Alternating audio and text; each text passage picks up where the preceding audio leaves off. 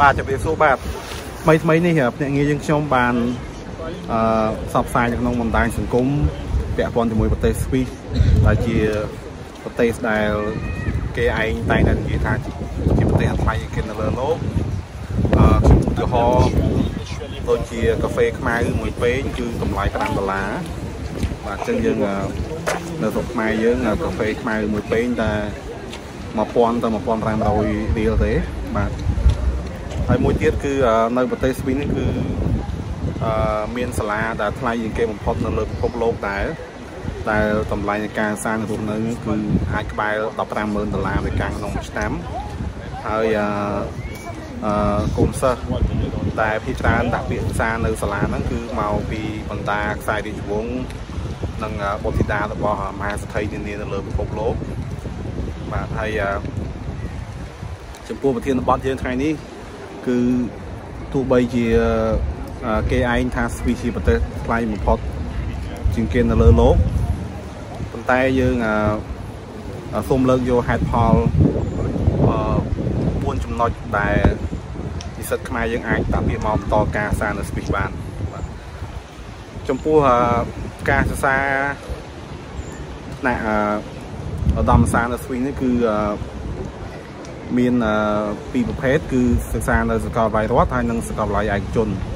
ចំពោះសាកលវិទ្យាល័យរដ្ឋគឺមានតម្លៃនៃការសិក្សាគឺចាប់ពីមួយឆ្នាំ5000ដុល្លាររហូតដល់10000ដុល្លារអាមេរិកក្នុងមួយឆ្នាំហើយជាទូទៅសាកលវិទ្យាល័យរដ្ឋនៅបណ្ដាប្រទេសនៅអឺរ៉ុបនេះគឺមានតម្លៃនៃការសិក្សាធូរថ្លៃទេដោយសារតែរដ្ឋាភិបាលគេជួយទំនុកបំរុងទៅដល់សាកលវិទ្យាល័យទាំងអស់ហ្នឹងដូច្នេះបានជាគេដាក់តម្លៃនៃការសិក្សាហ្នឹងគឺ មានលក្ខខណ្ឌទៀបជាងបណ្ដាប្រទេសពេញនិយមមួយចំនួនរបស់និស្សិតខ្មែរយើងប៉ុន្តែមិនមែនមានន័យថាគុណភាពអប់រំនៅប្រទេសនៅអឺរ៉ុបនេះគឺមានគុណភាពមិនជាស្តង់ដារអន្តរជាតិទេគឺសាលាឬក៏សាកលវិទ្យាល័យច្រើនគឺមានគុណភាពលំដាប់អន្តរជាតិបាទដូច្នេះហេតុផលទី1គឺពាក់ព័ន្ធជាមួយនឹងគុណភាពការអប់រំនៅប្រទេសស្វីស អឺគឺលំដាប់អន្តរជាតិបាទហើយនៅស្វីសនេះគឺគេមានទ្រឹស្ដីទស្សនៈអឺរបស់ស្វីសមួយគឺគេដល់ឱកាសឲ្យនិស្សិតសាទ្រឹស្ដីផងហើយនិស្សិតចុះអនុវត្តផ្ទាល់ដោយលក្ខណៈកម្មសាផងបាទអញ្ចឹងក្នុងមួយឆ្នាំជាទូទៅសាលានៅទីនេះគឺឲ្យនិស្សិតសិក្សាទ្រឹស្ដីកន្លះឆ្នាំចុះកម្មសាកន្លះឆ្នាំចំពោះតម្លៃនៃការសិក្សាដែលជាហេតុផលទី2ហ្នឹង គឺយើងគិតជាមធ្យមសរុបទាំងអស់តែម្ដងគឺតម្លៃនៃការអាសាតម្លៃនៃការរស់នៅជំនាញរ៉ាប់រងសុខភាពចំណាយផ្ទាល់ខ្លួននិស្សិតម្នាក់ម្នាក់ហ្នឹងអាចមានចន្លោះពី20000ទៅ30000ដុល្លារក្នុងមួយឆ្នាំ បាទយើងមានសាលាដែលមានតម្លៃ20000ដុល្លារក្នុងមួយឆ្នាំហ្នឹងគឺអឺជាលក្ខណៈសញ្ញាបត្រស្វីសបាទប៉ុន្តែបើសិនជានិស្សិតគាត់ទៅសាររបៀប សញ្ញាបត្រទ្វេគឺបញ្ញាបត្រទីស្វីសផងឬក៏បញ្ញាបត្រជាមួយនឹងដៃគូស្កបឡៃដែលគេសហការជាមួយគ្នាផងអានឹងអាចមានតម្លៃជាមធ្យម30000ដុល្លារក្នុងមួយឆ្នាំអញ្ចឹងតម្លៃហ្នឹងគឺលើកខ្ញុំបញ្ជាក់អញ្ចឹងគឺសរុបទាំងអស់គឺទាំងថ្លៃការសាថ្លៃនៃការរស់នៅថ្លៃធានារ៉ាប់រងសុខភាពចំពោះហេតុអ្វីបានជាតម្លៃធ្លាក់នៅសល់ប៉ុណ្ណឹងដោយសារតែអឺនៅទីនេះគឺនិស្សិត គេតម្រូវឲ្យយើងចុះកម្មសាកន្លះឆ្នាំ បានអញ្ចឹងក្នុងការសាបញ្ញាបត្រតែ3ឆ្នាំទេ បានអញ្ចឹងការសាបញ្ញាបត្រតែ3ឆ្នាំហ្នឹងគឺយើងមានឱកាសចុះកម្មសាបានមួយឆ្នាំកន្លះបានអញ្ចឹងយើងបានប្រាក់ខែប្រាក់ខែនៅស្វីសនេះគឺគេកំណត់2200ហ្វ្រង់ឬក៏2400ហ្វ្រង់ក្នុងមួយខែទៅតាមស្ថាប័នដែលគាត់ចុះកម្មសាហ្នឹងតែប៉ុន្តែជាទូទៅគឺ2200ហ្វ្រង់ក្នុងមួយខែ ហើយគេកាត់ចុះកាត់ឡើងទៅនៅសល់ប្រហែលជា1000ទៅ1500ហ្វ្រង់ក្នុងមួយខែអញ្ចឹងពិសិដ្ឋក៏បានថ្លៃប្រាក់ខែហ្នឹងយកមកទុកសំដើម្បីទូទាត់ថ្លៃសាលាហ្នឹងអញ្ចឹងបានធ្លាក់តម្លៃសល់តែ20000ទៅ30000ដុល្លារក្នុងមួយឆ្នាំបាទអញ្ចឹងមកយើងប្រៀបធៀបជាមួយការសានៅប្រទេសផ្សេងផ្សេងគឺតម្លៃប្រហែលប្រហែលគ្នាទេ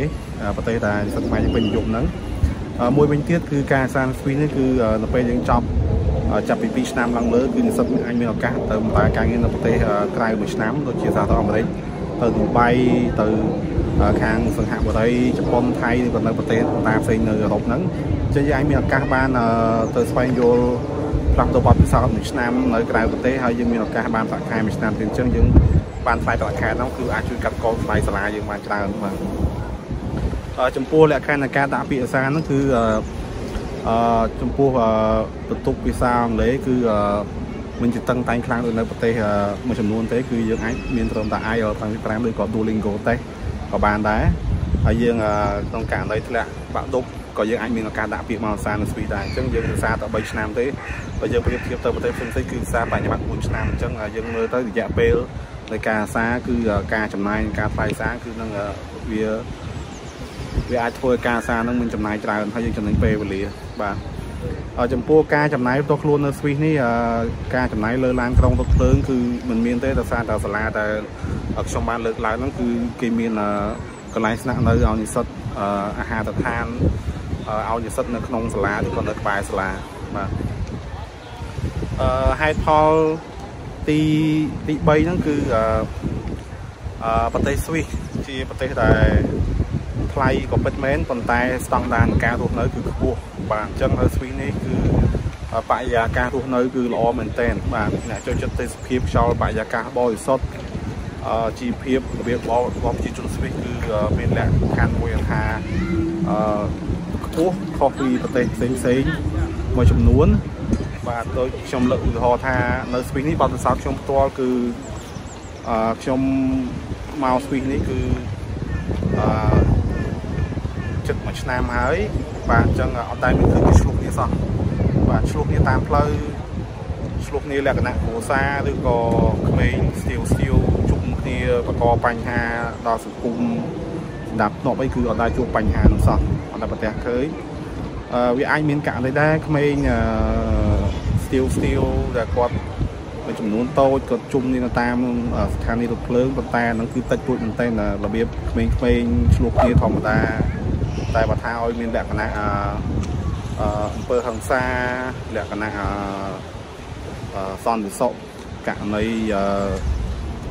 ចោតកម្មករណីគឺមិនដែលមានសោះបាទចំពោះបានសោះខ្ញុំគឺខ្ញុំមិនដែលជួបបញ្ហានឹងសោះបាទគ្រោះថ្នាក់ចរាចរណ៍ក៏មិនដែលប្រទះឃើញបាទអញ្ចឹងប្រជាជនស្វីសគឺជាទូទៅគេផ្ដោតទៅលើការរស់នៅរៀងៗខ្លួន បាទហើយគេគោរពសិទ្ធិគ្នាទៅវិញទៅមកមិនមានការរើសអើងពូជសាសន៍បាទទោះបីជានៅស្វីសនេះគេប្រើភាសា4ភាសាបារាំងអាល្លឺម៉ង់អ៊ីតាលីហើយនិងភាសារ៉ូមែនប៉ុន្តែយើងអាចប្រើភាសាអង់គ្លេសជាមួយគេជាទូទៅបានហើយកម្មវិធីការសាគឺយើងភាសាជាភាសាអង់គ្លេសទេបាទបើនិយាយឲ្យខ្លីទៅគឺបរិយាកាសនៃការរស់នៅប្រទេសស្វីសគឺមានលក្ខណៈមួយដែលល្អបំផុតបាទគឺស្ងប់ស្ងាត់អឺ យើងដឹងហើយមហាសេដ្ឋីជាច្រើននៅលើពិភពលោកគេយកធនធានគេមកផ្ញើនៅធនាគារនៅប្រទេសស្វីសរាប់សិបលានដុល្លារអញ្ចឹងមូលហេតុអីដោយសារតែប្រទេសស្វីសហ្នឹងជាប្រទេសសុវត្ថិភាពបំផុតនៅលើពិភពលោកយ៉ាងហ្នឹងហើយសូម្បីតែក្រុមហ៊ុនធំធំអឺស្ថាប័នអង្គការអន្តរជាតិធំធំដូចជាអង្គការសហប្រជាជាតិហ្នឹងគឺភាគច្រើនគឺបន្ទុំហ៊ាននៅប្រទេសស្វីសបាទ ការឡៃកណ្ដាលរបស់ស្ថាប័នទាំងអស់ហ្នឹងគឺគេមកបដុំនៅស្វីសនេះដោយសារតែស្វីសហ្នឹងជាប្រទេសដែលមានសន្តិភាពដែលមានសុវត្ថិភាពខ្ពស់បាទជាប្រទេសអាជីវកម្មមិនពាក់ព័ន្ធនឹងរឿងនយោបាយមិនពាក់ព័ន្ធនឹងរឿងអសន្តិសុខអីជាដើមហ្នឹងបាទហើយហេតុផលចុងក្រោយទី4ហ្នឹងគឺការណានិស្សិតមកបន្តការអាសានៅស្វីសនេះដោយសារតែស្វីសនៅចំកណ្ដាលប្រទេសអឺរ៉ុបអញ្ចឹងយើងអាចមានឱកាសធ្វើដំណើរទៅទស្សនានៅប្រទេស ក្នុងតំបន់ Schengen បាន26ប្រទេសដោយការជិះរថយន្តក្រុងជិះរថភ្លើងជិះយន្តហោះបាទអញ្ចឹងមិនមិនចំណាយច្រើនហើយយើងអត់ចាំបាច់ស្នើសុំទិដ្ឋាការថ្មី បាទព្រោះប្រទេសនៅក្នុងអឺរ៉ុបនេះគឺមានប្រទេសខ្លះថ្លៃតែខ្លះធូរថ្លៃអញ្ចឹងយើងអាចមានឱកាសស្វែងយល់ច្រើនពាក់ព័ន្ធជាមួយនឹងបទពិសោធន៍នៃការរស់នៅវប្បធម៌ តំបន់ទេសចរឬក៏ប្រវត្តិសាស្ត្រនានាជាពិសេសអ្នកដែលចូលចិត្តស្រាវជ្រាវរឿងប្រវត្តិសាស្ត្រប្រវត្តិសាស្ត្រនៅប្រទេសអឺរ៉ុបនោះភាគច្រើនគឺគេអភិរក្សបាទរចនាសម្ព័ន្ធទីក្រុងគេគឺជាទូទៅគេអភិរក្សហើយយើងកុំយល់ច្រឡំមិនសោះថានៅប្រទេសអឺរ៉ុបហ្នឹងអឺมันមានអាគារខ្ពស់ខ្ពស់ច្រើនចឹងទីក្រុងនៅអឺរ៉ុបនឹងអត់ទំនើបតែតាមពិតនៅអឺរ៉ុបនឹងទំនើបដែរគឺអ្វីអ្វីភាគច្រើនគឺរបបកំហើញគឺកើតឡើងនៅអឺរ៉ុបនឹងបាទអឺ អានឹងខ្ញុំមិនចាំបាច់លើកច្រើនទេយើងអាចស្រាវជ្រាវខ្លួនឯងតាម Google តាម YouTube យើងអាចស្វែងយល់បន្ថែមពីអឺរ៉ុបបានព្រោះយើងនិយាយខ្លីគឺគុណភាពស្តង់ដារអឺរ៉ុបបាទអញ្ចឹងចំពោះហេតុផលទាំង4នេះមានដូចជាគុណភាពនៃការអប់រំបាទតម្លៃនៃការអាសាអឺអាចថាធូរថ្លៃជាងប្រទេសមួយចំនួនដែលថ្លៃពេញនិយមហ្នឹងបាទ អឺស្តង់ដារនៃការរស់នៅខ្ពស់ហើយនឹងឱកាសក្នុងការធ្វើដំណើរកម្សាន្តនៅអឺរ៉ុបហ្នឹងជាហេតុផលដែលនិស្សិតខ្មែរគួរពិចារណាពីការអាសានៅប្រទេសស្វីសហ្នឹងអឺមួយទៀតខ្ញុំសូមលើកបទពិសោធន៍ផ្ទាល់ខ្លួនពាក់ព័ន្ធជាមួយនឹងការចំណាយផ្ទាល់ខ្លួននៅស្វីសនេះអឺ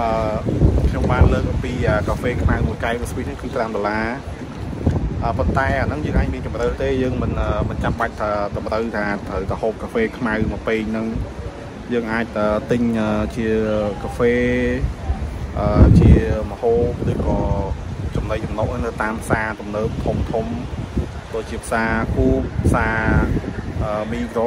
ផ្សារជាច្រើន Aldi ទៀតអញ្ចឹងយើងអាចមានជំរឿក្នុងការជ្រើសរើសផលិតផលឬក៏ចំណីចំណុកដែលមានតម្លៃធូរថ្លៃបានព្រោះមិនមែនមានន័យថាអ្វីៗថ្លៃ ថ្លៃទាំងអស់ទេបាទនៅស្វីសនេះពាក់ព័ន្ធនឹងមហូបអាហារចំណីអាហារហ្នឹងគឺអាចមានជំរឿច្រើនដោយសារយើងដឹងហើយថាក្រុមហ៊ុន Nestle ជាក្រុមហ៊ុនរបស់ប្រទេសស្វីសបាទហើយសាខាកណ្ដាលធំជាងគេរបស់ក្រុមហ៊ុន Nestle នេះគឺនៅក្នុងទីក្រុង VP ដែលខ្ញុំកំពុងរស់នៅបច្ចុប្បន្នហ្នឹងបាទដូច្នេះពាក់ព័ន្ធនឹងការចំណាយផ្ទាល់ខ្លួននោះគឺយើងមានជំរឿបាទអឺ ការទិញសម្លៀកបំពាក់ការដើរលេងយើងមានជំរឿទាំងអស់អញ្ចឹងមិនមែនតែត្រូវថ្លៃទាំងអស់ទេប៉ុន្តែចំពោះបងប្អូនយុវនិស្សិតដែលមានបំណងសិក្សានៅសាលាដែលខ្ញុំណែនាំខាងលើបាយមិញហ្នឹងគឺចំពោះក្នុងការចំណាយប្រចាំខែគឺអត់សឹងថាអត់មានដោយសារតែមហូបសាលាគេរៀបចំឲ្យយើង3ពេលក្នុងមួយថ្ងៃហើយក្នុងមួយពេលពេលយើងមានកាហ្វេ បាទហើយចំពោះការចំណាយលើទឹកសុទ្ធទឹកអីហ្នឹងយើងអត់ចាំបាច់ចំណាយព្រោះនៅស្វីសនេះយើងអាចហូបទឹកទឹកម៉ាស៊ីនបានបាទយើងអត់ចាំបាច់ចំណាយតែទឹកសុទ្ធទេយើងចង់តាំងក៏បានយើងចង់ហូបឆៅក៏បានបាទបាទអញ្ចឹងខ្ញុំសូមសង្ខេបអឺតែប៉ុណ្ណឹងហើយបើសិនជាអ្នកទាំងអស់គ្នាមានសំណួរផ្សេងផ្សេងអំពីចំណាប់អារម្មណ៍ពាក់ព័ន្ធនឹងការអាសានៅស្វីសនេះយើងអាចអឺអ្នកនងខ្ញុំបានផ្ទាល់អឺ ជាស្ថាបនិកប្រាសាទតាំងពីឆ្នាំ2012មកហើយយើងក៏ជាភ្នាក់ងារស្នាមជាងគេនៅក្នុងប្រទេសកម្ពុជាយើងតាក់ទងជាមួយនឹងការសានៅស្វីសនេះដើម្បីធ្វើការប្រឹក្សារបស់យើងអត់គិតថ្លៃទេយើងអាចប្រឹក្សាតាម Telegram តាម WhatsApp ឬក៏ Facebook បាទហើយបើសិនជាអ្នកទាំងគ្នាអាចធ្វើការស្វ័យសិក្សាបន្ថែមខ្លួនឯងដោយការស្រាវជ្រាវតាម Google តាម YouTube បាទអឺដើម្បីយើងដឹងជាក់ច្បាស់អំពីការសានស្វីសនេះអញ្ចឹង អញ្ចឹងខ្ញុំសូមបញ្ចប់វីដេអូនេះត្រឹមនេះហើយអរគុណច្រើនចំពោះអឺការតាមដានទស្សនាវីដេអូយើងកន្លងមកនេះហើយបើសិនជាមានកង្វះខាតអ្វីសូមអ្នកនរគ្នាអធិស្ឋានចំពោះកំហុសឆ្គងដោយអចេតនានឹងបាទសូមអរគុណច្រើនអ្នកនរគ្នា okay bye bye អ្នកទាំងអស់គ្នា